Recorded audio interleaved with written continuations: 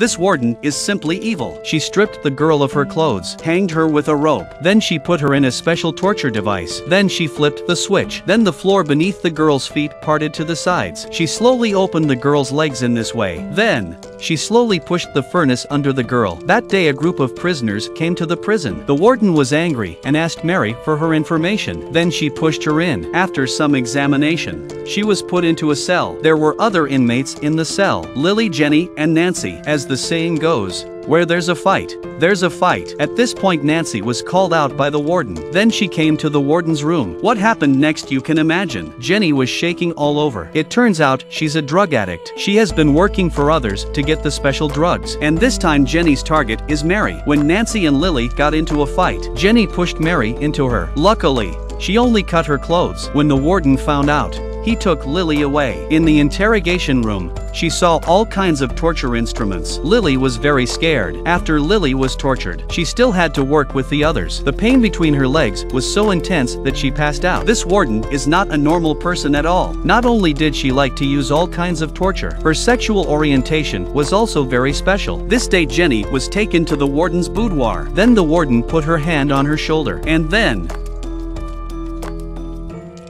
but Jenny suddenly slapped her. The angry warden stripped her naked. She tied her to the turntable. Then, she used the stove to punish Jenny. The next scene you can imagine. These two girls suddenly dispose of the warden. Then they escaped. But can they really escape so easily?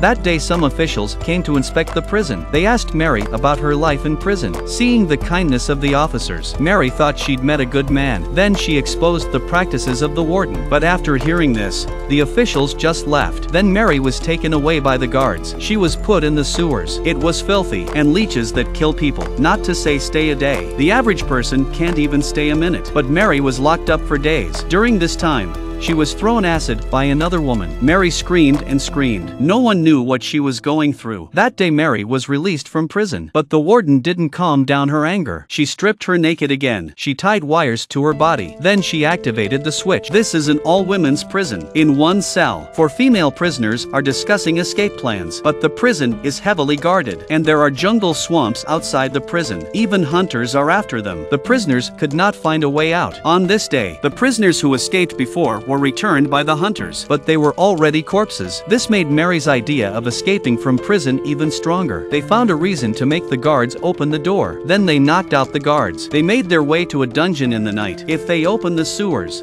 they can escape, but they were discovered by the warden who was out on patrol. The woman who had finished with the guards came out just then. She knocked out the warden. They went into the sewers together. That was very lucky. With the warden, they could find a way out. They crawled down the sewers. Finally, they got out. According to the warden's directions, they crossed the river into the jungle. When they got out, they decided the warden was no longer of use, so they tied her to a tree. They left her with the hunters, but what they didn't expect was, Jenny had a sudden change of heart. She sold Mary to the ship. Mary became a plaything for the men. One day, a man told Mary he was going to take her away. Then the two men fled the place, leaving Jenny alone.